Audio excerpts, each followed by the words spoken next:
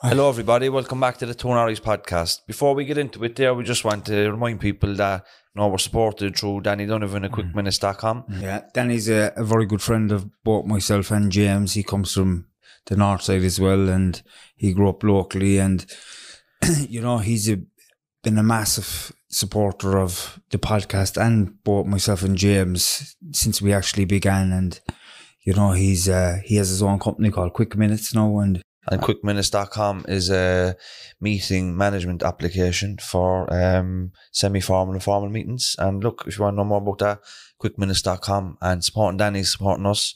Um, so if you're interested in that, check them out and enjoy the rest of the podcast. Hello, everybody. Welcome back to the Two Norries podcast. I'm your host, James Ennis, joined by my good friend Timmy Long. hi everyone.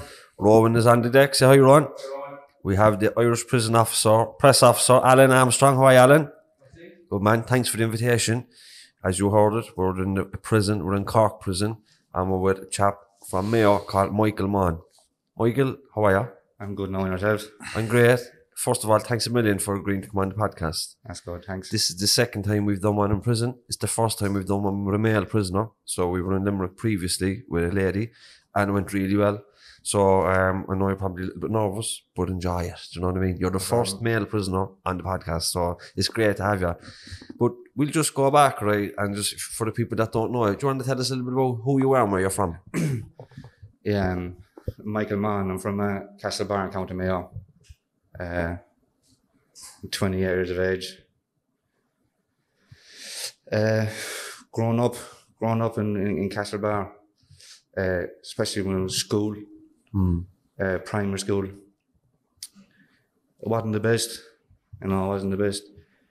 There was uh, a lot of uh, favoritism going on with the teachers for their own, like, the travellers, like, travellers didn't get the best of a time. You're a traveller, Michael. Yeah, yeah. And you think that the tr- teachers treated you differently? 100%. Discrimination? Like, Yeah, 100%. What was it like? Like, it was embarrassing, to be honest. When you go into a classroom, you're expecting to, to learn things, like, from teachers, like, you know, like, mm. but what used to happen to me was I was just given a book and a pencil and just threw it down to the bottom of the corner of the class. Mm. And anytime I asked a question, I was just blank. And if if, if he asked like, if I keep asking some questions, trying to find out what's going on, I've been sent to punishment. Mm. You know, and like, it was tough because I didn't really learn nothing. Like, I went to school for two years. Well, I've done my primary school. I finished that, and when I was going into secondary school, I could barely read and write. Like, hmm. I was going into secondary school now, like you know, and there was like in secondary school, it was much the same. Yeah. Much the same in secondary school, like where teach teachers were like were provoking you, you know, like like not not like not like not treating you as all the rest all the same as as, as, as in the class, like. And uh, I finished first year. I was probably more wiser through my education finishing sixth class in primary school than what I was when I finished first year in, in secondary school. You know, and in second second year then, uh, that's when it went downhill. The educating for, for me in the school, like, or just I was in a class one day. I was in metalwork. It was a double class, and uh, few few uh, had a few mates in there as well. Like and we're sitting down and we're, we're making something. Don't know what it was again. It was something I don't know. But uh, anyway, we we're making it anyway. And uh, a teacher comes around behind me, and he goes. He said, uh, "Are you going to rob Daddy? Yeah." And I'm looking at him and said, "Why? Why would I? Why? Why would I mm. start robbing something for?" And he goes, "You're a fucking knacker. You're a knacker." You know. Mm. And I thought I was hearing things, you know. So I, just did, didn't say nothing. Didn't say nothing. Then a friend, who wasn't a traveller, he was the far side of the class. He hears this, and he, he shouts over. He said, "Michael, you all right? You all right?" I said, "Yeah, I'm grand. I'm grand." So when I was the the two classes finished, and uh, I was walking up. I think it was lunchtime, and we're walking up to a canteen, And the same teacher comes up behind me again and he goes, You're not wanted in this school, you're not wanted in this school, you're a knacker, you're a knacker, you're not wanted in the school. You know? And then that had me thinking then like, what's the point me wait what's the point me waiting in school? Of course. You know, when I'm go, when I have to go through all this, like you know, so then I was walking I was walk after the same day and school was finished. I was walking walking home. I was just walking out the front door of school and a young fella on a bike that was in the same class as me, you know, he then he started, you know, on about travellers, travellers this, and you should go back to your hard sites and go mm. back to your caravans. And he was sitting on his bike. I just remember going over to him and just grabbing him and just pulling him off the bike. I didn't touch him. I just pulled him off the bike, like, and I was, I was going to start, but I didn't. And then I goes home, tells my family. So I comes back into school the next morning. Oh, I didn't want to go back into school because I knew what it was, what was going to happen, like.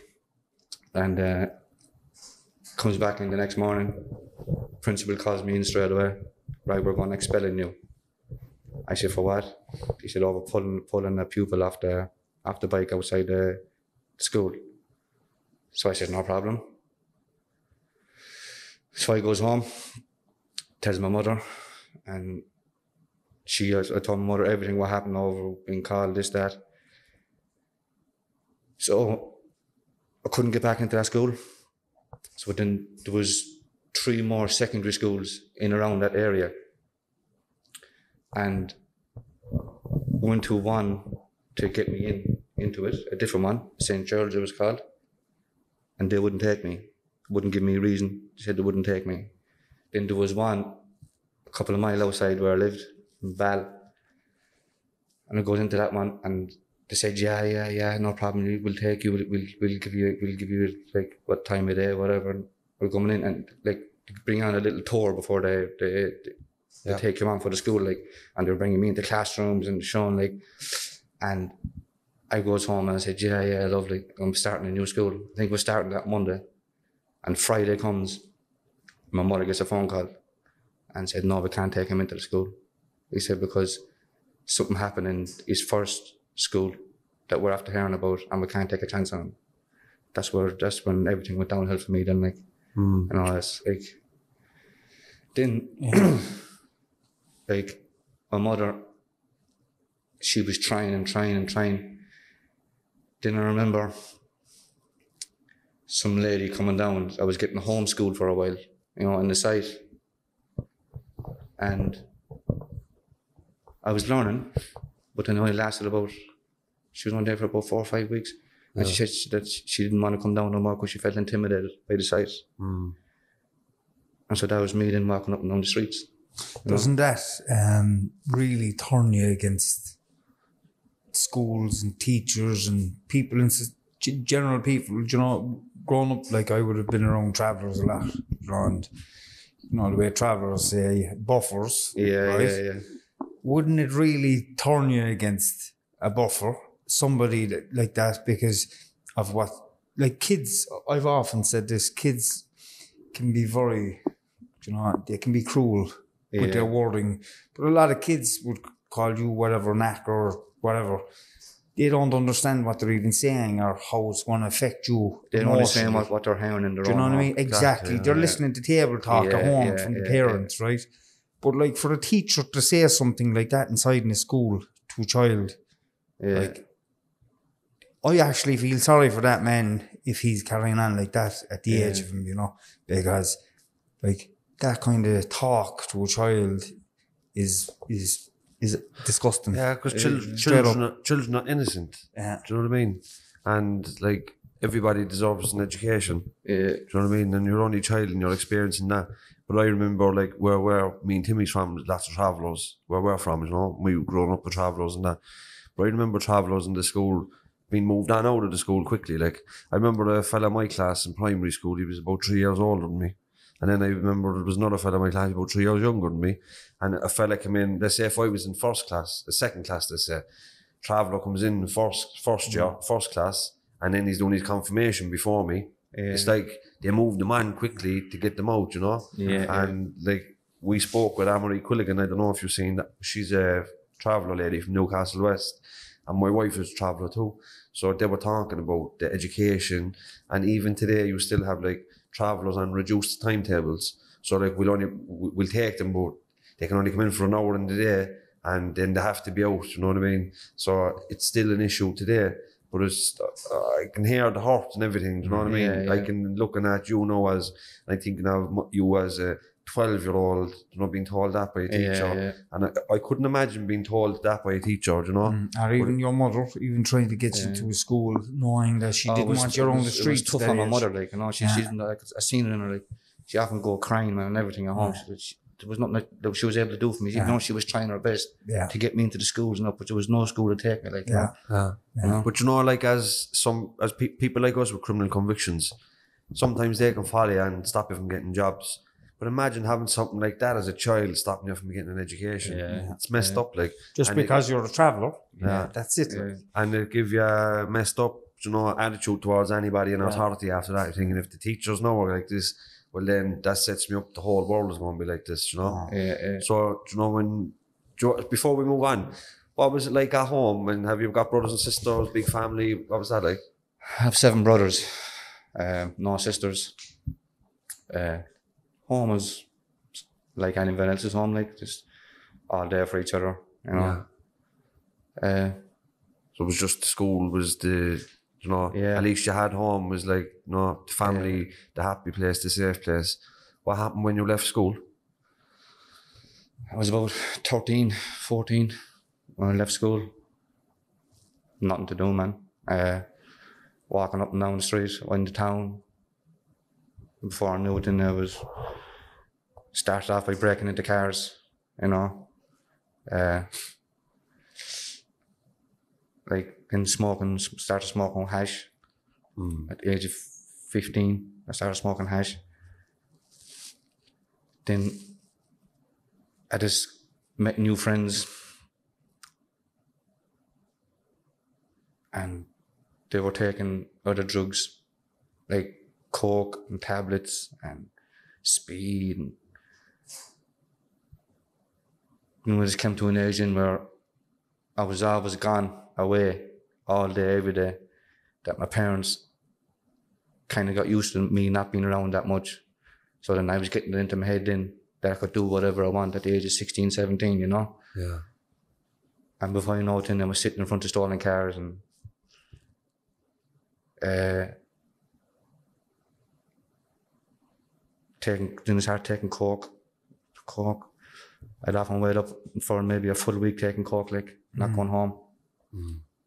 Comes with that then is the life, like to be able to feed those habits then, because that, that was, I'd be very similar to yourself, to be able to feed them habits, like you have to feed them with some form of finance, like, and, Yeah. and, and that always comes down to robbing.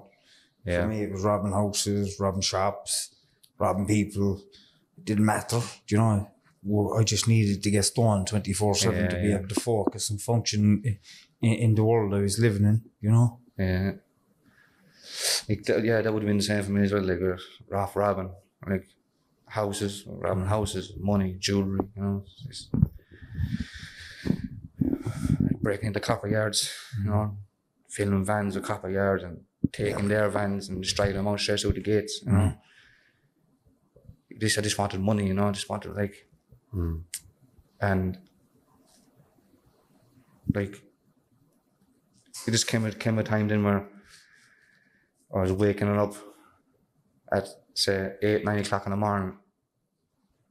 And if I didn't have a joint beside me, it was a bag of bag of coke beside me, you know, and then I'd be thinking then I'll ring this fella, I'll ring that fella, and then just turned into robbing cars, vans, jeeps, whatever, whatnot, like, you know, just trying to just trying to make money, just trying to get by, like, you know. Where while like while other people, like non traveling people, were getting degrees and diplomas. I was going around the street robbing, like trying to trying to make a living, while they were getting a living through education. You know what I mean? Like it's tough. Yeah, It was tough. Like And I suppose, like most of us, things get worse and get worse until eventually you ended up in prison. yeah, What age when you come in? I was 21, 20, 21, when I was 19. I was 19 when it happened. Uh, drunken argument, you know. I got out of control. Uh, influenced with drugs again, coke, tablets. Uh, You ended up getting a big sentence. I got 15 year, yeah. So you're you're 28 now, and you're in Yeah. since you're 19. I'm in season 21. Since you're 21, 21, yeah. you were on the 19 when it happened. Yeah. So I don't want to know the details of the case or anything like that, but we kind of understand how you got here. Yeah. So what was it like when you came in when you were 19? I I tell you my story. I remember going into Cork prison across the road in the old one when I was 18, 19. Young punk, you know, with that attitude, the chip on the shoulder, was it a bit Yeah, like that? Yeah, uh, it's coming in, Castlerea. Mm. it was pure green. Uh, didn't know what to expect. Uh, but I had a few cousins in there that kind of, Yeah. they kind of took me under the wing and showed me the ropes a bit, you know. But uh, start of the sentence, it was just like didn't want to do the school, didn't want to do nothing. It was me against them. I know that's the way I seen it at the start. Um, then I was getting transferred from block to block over fighting and, and caught with phones and Mm. then I done that for about three and a half year, four year. And then it came down here in 2016, 17, came out 2017. And just down here for a few, about 12 months. And I just started getting involved in school a little bit, you know. Mm. And I kind of got a liking to it, you know, because you were getting off the yard and you were getting off the landing, you know. Yeah. But then before I knew it, like I started getting involved in courses in the school and it just changed my mindset about like acting the man would say Yeah. in, in the jail, like, you know. Uh, I just want to just keep my head down and just try and get on with the best way I can, like, you know, mm-hmm. instead of like fighting and blackguard and getting transferred from block to block and it's, it's, it's not like prison is not a nice thing to do anyway, up or down, like, but when you're getting transferred from block to block, it's this, like, mm. Did you get transferred around to a few different prisons? yeah, I was in uh, Wheatfield, Mountjoy, Limerick, Cloverhill, Castlerea, was in Castlerea, was down here.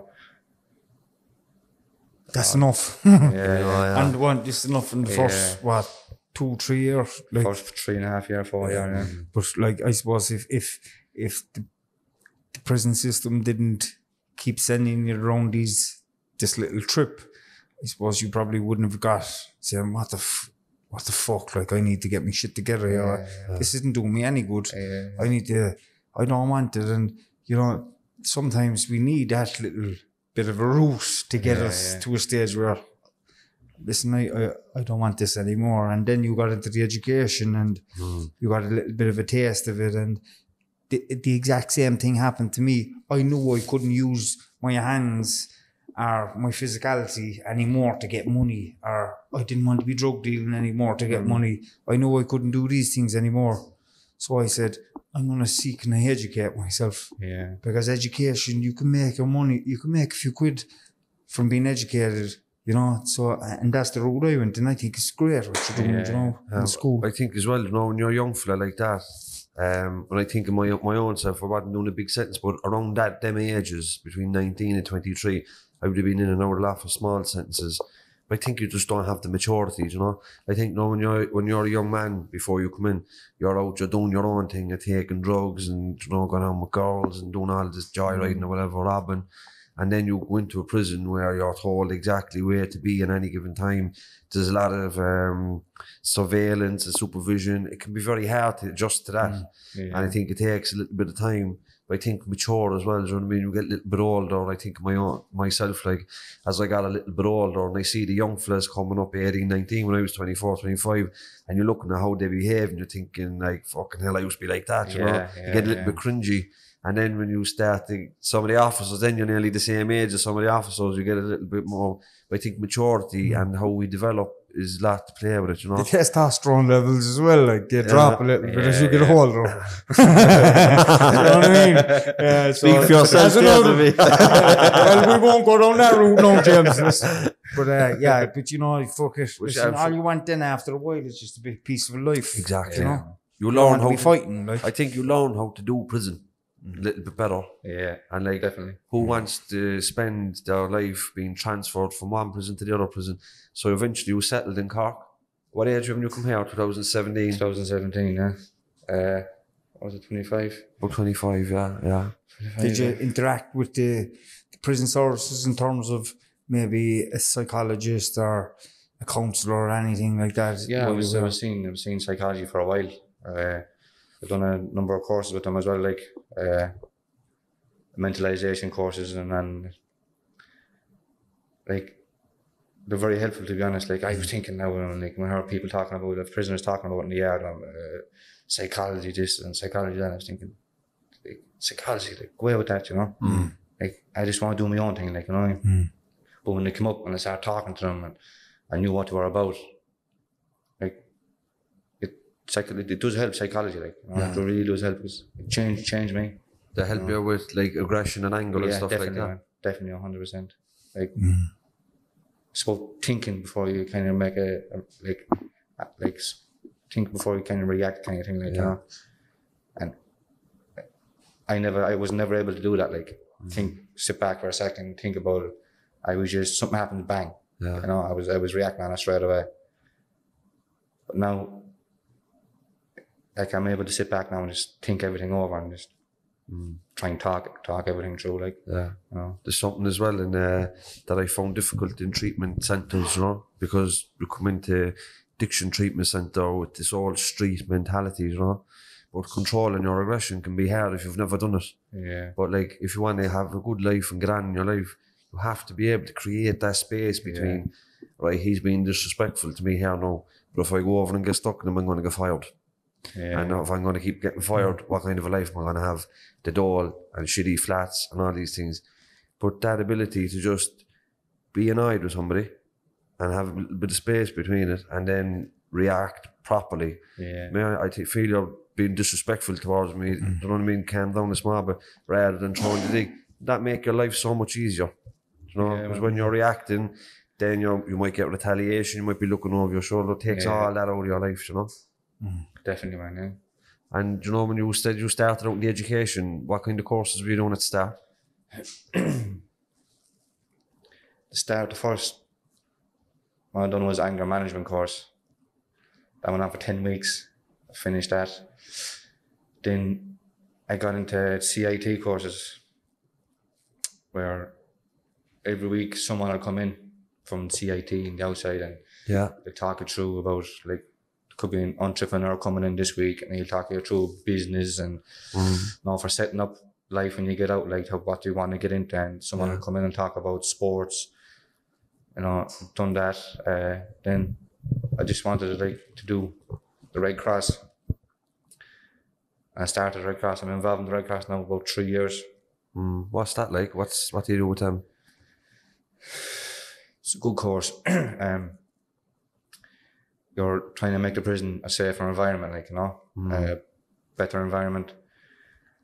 You're going around, you're spreading awareness about mental health, uh, having open days in, in school, and like you're like you're check, taking people's blood pressure and you're checking their blood pressure and their BMI, and you're making posters and cell drops about like mental health, Yeah. you know, and about the dangers of drugs, the danger, the difference between uppers and downers, and Yeah. we learned.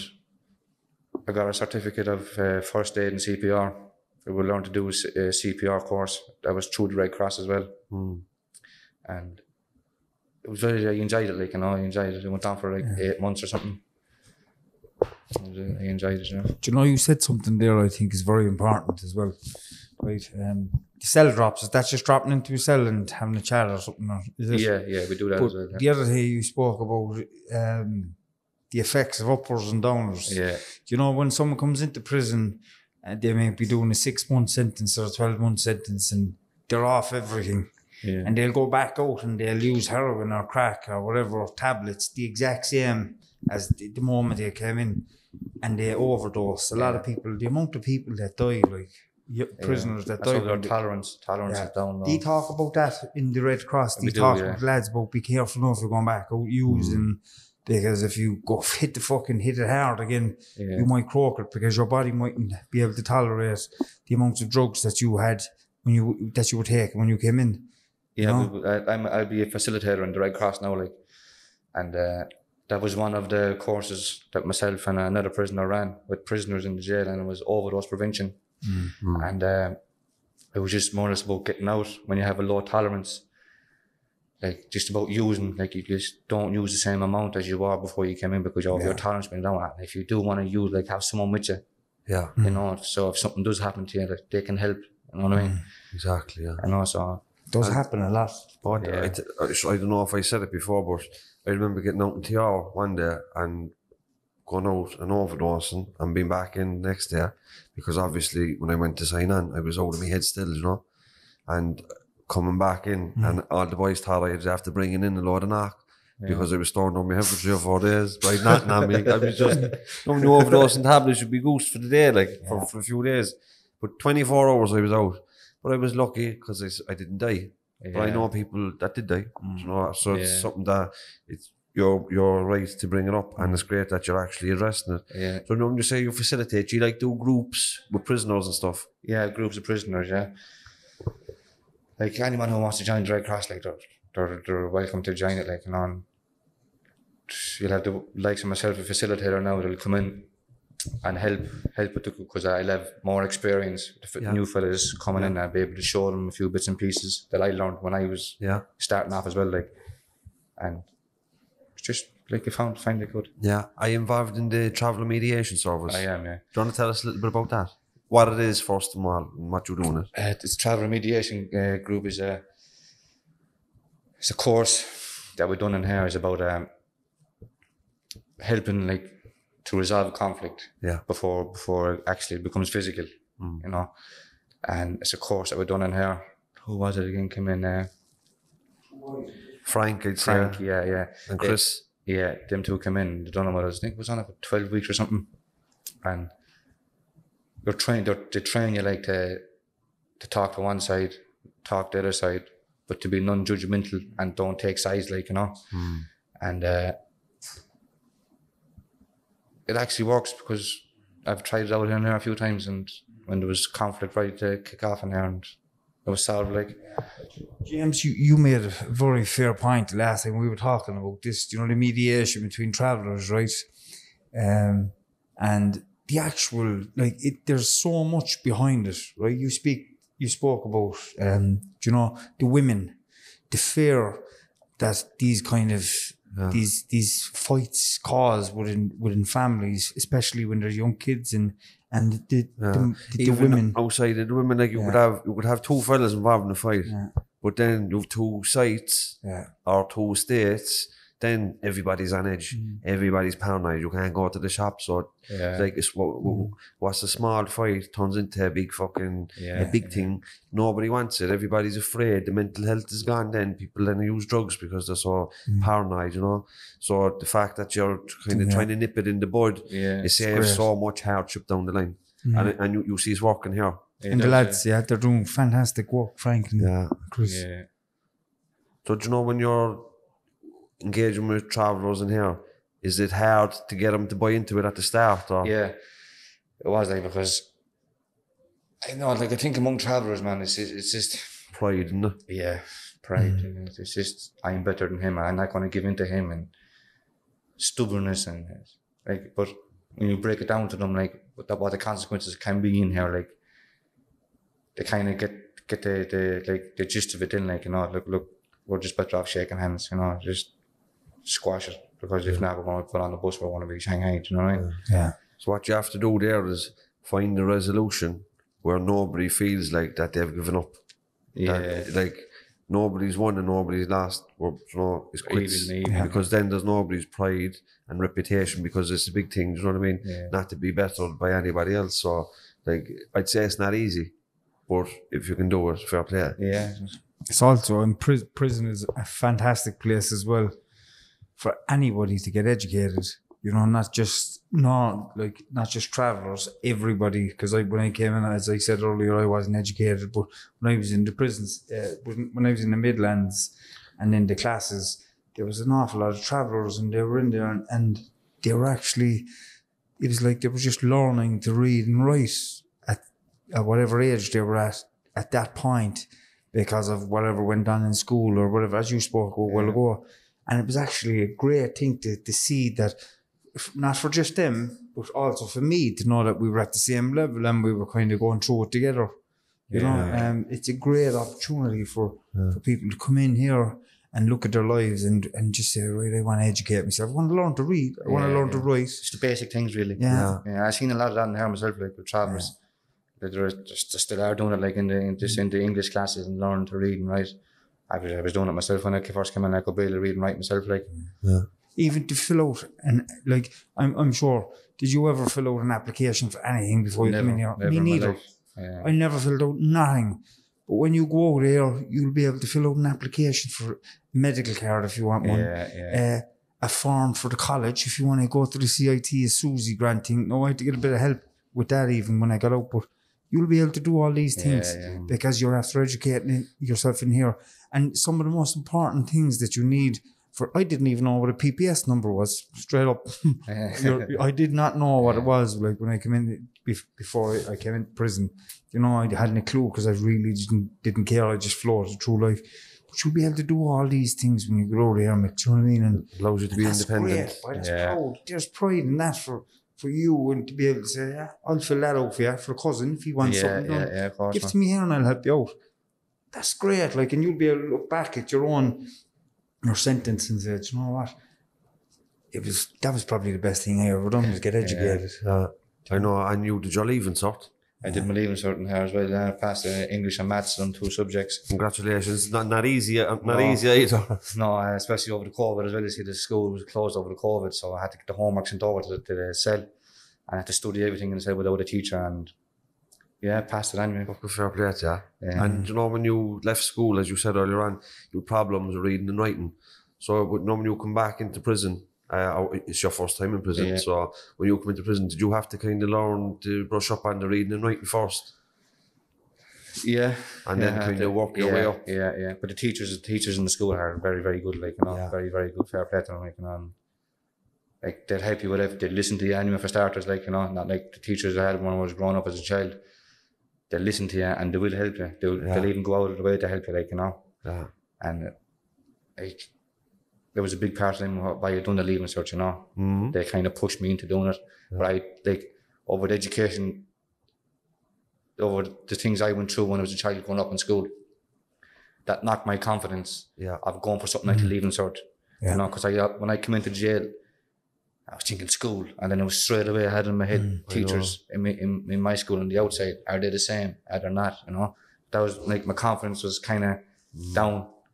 But when I started getting talking to teachers, we really, really are sound like and Yeah. yeah. You know. It's you know, like we bad. need- Yeah. It, it, like, we- go on. Go on. I, I was going to say, like, my experience was the same with teachers. What we need are teachers like that in normal schools. Yeah. Mm. Teachers eh, who, who are, have been educated about trauma, about difficulties, learning difficulties that we'll, we'll have, you know. Yeah, yeah. I'm dyslexic, dyslexic as, as well. Um, and, but I didn't know that growing up as a young child. Yeah, I got that assessment in third level education by an educational psychologist and they told me I was dyslexic, you know. But I went through my whole life not knowing that and thinking that I couldn't read because I was stupid, because I was thick, because I wasn't able, uh, you know, all these different things. Yeah, but yeah. it wasn't because of any of these things. It was because I had learning difficulty, which was dyslexia. I learned completely differently to everybody else, you know. Yeah, yeah. Um, and, and and and there's probably another. I don't know how many prisoners in here, but I'd say there's a massive percentage of prisoners in here with dyslexic Yeah, there's a few. who are them, yeah. dyslexic as well, and it's undiagnosed, you know, and maybe ADHD un, undiagnosed and things like that, you know. And and and I'd always say to anybody to get to know yourself a little bit better, find out if you are dyslexic and and it takes away that kind of stigma that you have on yourself then, and that critic that there's something wrong with you, you're stupid or you're thick. But when you find out you're dyslexic and you, you understand what it is to be dyslexic, the pressure comes off. Then you Yeah, say, you know what, that's yeah. okay. I have a learning difference to everybody else. Yeah. You know? even like, like yourselves know, I didn't have a great experience in school either. And when I was going, when I come into recovery, I was thinking about education and like I was thinking, ah, s- I, I when I finished school, I said education is school is not for me, and I would never go back there. Yeah. But when you go back as an adult, it's a lot different. And I think there's something we do in adult education in colleges or level three, fours, and fives, whatever, through the ETBs. There's something we do there that's better than school in, as a child, you know? I think Yeah. when you go back to school as an adult, first of all, you don't have to be there if you don't want that. Because you're an adult. If you don't want to do the course, you don't have to do the course, you know? Mm. So yeah, I always have that option. But I think learning as an adult, it's more fun. It's the teachers are better. It's a better relationship. It's a better dynamic. So I think like if anybody's watching and they had bad experiences in school and they think that that's it, education is not for them, don't be so quick to close it off because you might love it and start with the taster course, you know, the basic course, and you might work your way up and to a leaving cert, you know, and you could even go beyond that. There's no reason you can't go to college and then come back and help others, you know. Yeah. Um, so you got an award recently. yeah. Do you want to tell us? The President's Award, the Gaisce of College, yeah. That's huge. Yeah, well, that it took me three year, three year to complete it. There's three different levels to it. You have the bronze, silver, and then you have gold. Uh, I, I got, I learned about the gaskets with the Red Cross again. Like, uh, I think it was Governor O'Brien came in. We had a, a Red Cross. We're doing the Red Cross, and it's part of the Red Cross. I think it's once a month. We You get meetings. You have meetings. We say with the governor and chiefs this week, and then the following week- the following month, and might be having a meeting with the medics, and then the following month it could be psychology. Now we're talking about things within the prison, trying to make it uh, a safer place. Like, and I think it was Governor O'Brien comes in one one morning, and we're chatting away, and he mentions the Gaisce to me, and I was saying, yeah, yeah, I wouldn't mind, I wouldn't mind doing that. My brother was there at the time, and he started with me as well, and we started. Like fair play to Governor Ryan, he's very he was very good to me as well. Like you know, like he give me he give me chances as well. Like, and we started, but I finished the bronze. And my brother finished it as well. The two of us finished it together, and he got he gets uh, lock and house. He goes up to an open prison, and then I just started. I think the bronze went down for was it thirteen weeks or sixteen weeks or something, and you have to do three three uh, activities for the for the thirteen weeks or sixteen weeks. You have to do a physical physical activity. That could be for the gym. Might do Yeah. the gym once a week. Then you have to do the community. I done the Red Cross for the community, and for the personal. It was a job I had at the time. I was working in the hurley shop, where we learned to fix hurleys and Yeah. making benches and all that kind of crack. And we finished that. We got a medal, got the bronze medal, and I went on to the silver. I think that goes on for 26 weeks of silver then. And uh, for the community, for the silver, I joined uh, the Samaritans, the listeners. Mm. And I was getting assigned by them every every week. They were coming in every Sunday. And for the physical, I stay stay away, away at the gym, like, and we'd, we'd, like, you have to do like a team, a teamwork activity as well, you know, to come into the end of, the end of each course, you have to do like a teamwork activity. Yeah. And for the silver, the silver one, I, um, I organised a, a fundraiser for penny dinners Brilliant. and uh, I got one euro off each prisoner in the prisons, and that came up to 300 euro. And then Governor O'Brien said to me that he'd double it, he'd throw another 300 euro to it, and we send it out to the Catherine Twomey or something. Yeah, yeah, she was on the podcast before. Yeah, and uh, that was done anyway, and like sweated at the gym, and for the pers- for the personal one, it was I, what was? I think I was trying to become a, a COVID cleaner or something. Yeah, I trained to become a COVID cleaner in, in the prison because I was clean, cleaning. I was cleaning the yards at the time. It was as a job, like you know, and uh, for the gold one, then it that goes on for a full year. And I, whereas I was doing the, I done my leaving cert for the gold one.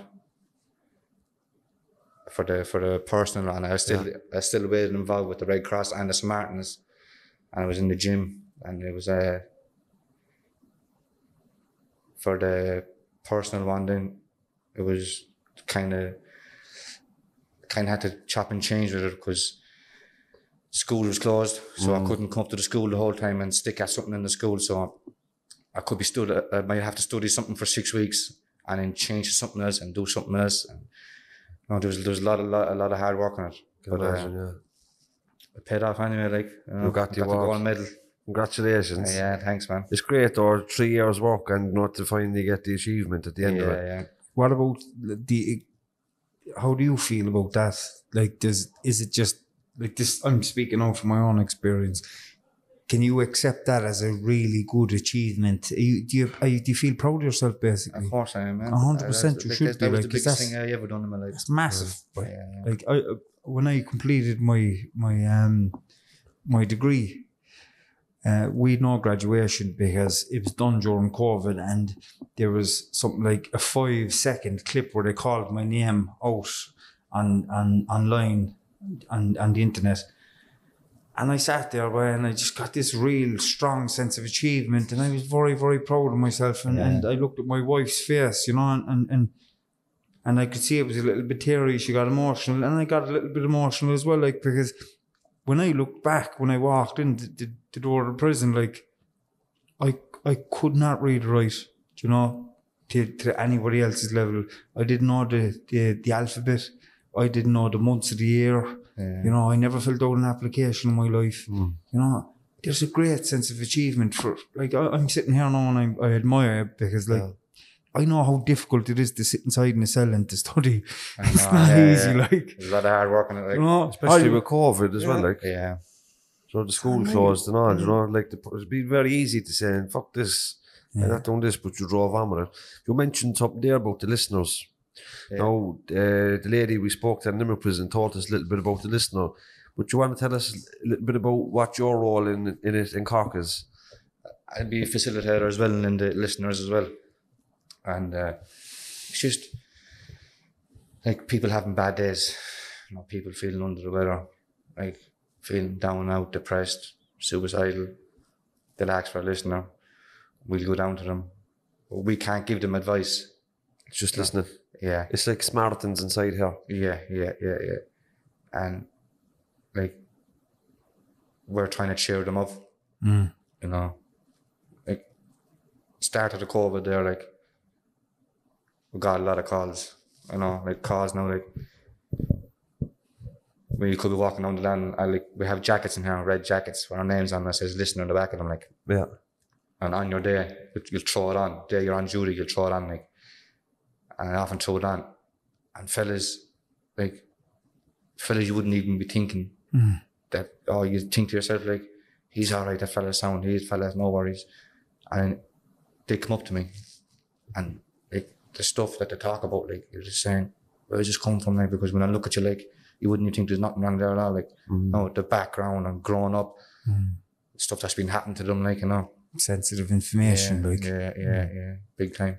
Yeah. You know, and like it's very personal. You know, it's uh, How do you cope with a lot of that information? Then you know, because like if someone's talking to you about something, right, and then that they, because when you're in prison, you haven't got the crutch of alcohol and drugs to block out all the trauma anymore, or whatever may have happened in your life, or wherever you drank and drugged on. And you're left with it in here because there's no drugs in here to use or whatever else. yeah, And like to be a listener, then like when a lot of people do think about killing themselves in prison, Yeah. you know, and it's, that's the reality of it, you know. And I know I did yeah, probably every day for a long time. Um, but like for the likes of yourselves now, who, who's a listener and, and, and somebody's opening up, really like it, you have to be really trusted to be a listener by by the prison system. Yeah. Do you know to be a, because they know that you're not going to go outside of that cell and start talking about whatever a man told Yeah, you. You yeah. know that's a big responsibility for you, and it also must be a lot to be able to take in whatever they tell you and be able to deal with it. So, you know, yeah. It is like some cards there like a very, very, very tough. Like I got cards there, man. I'd be smashed for a week in the cell. Yeah. You know, I wouldn't like. I would kept thinking. It was dragging me down. Yeah. But we we like the other, the other smart listeners in there as well. Like if we're feeling down about mm-hmm. something that we heard or a call that we got, we can go to them and have a chat with them about it. So that's taking that off off most of it off our chest as well. Like you know, so Yeah. it's not too bad. Like you know. That's good. That's It's good. great though that Yeah. you're there and you can help people through Yeah, tough times in their lives, knowing that you're seeing somebody that that's respected in the prison. You know, Yeah. a few hundred men, but you're the one that they'll come to because they trust you, that you're not going to open your mouth, that there'll be no judgment. It's just great to be able to do that. Yeah, yeah. You've a few years left, haven't you? Around five years left. Yeah. Yeah. What's the What's the plan for you? Have you any plan like for what would you love to do when you get out? Have you any like a job you'd like to do or like to be married and kids and stuff? I want to want to get married and settle settle down. Like have have my own family. Uh, like I got locked up when I was a child. I'm getting out as a man. Like you know. Mm. Uh,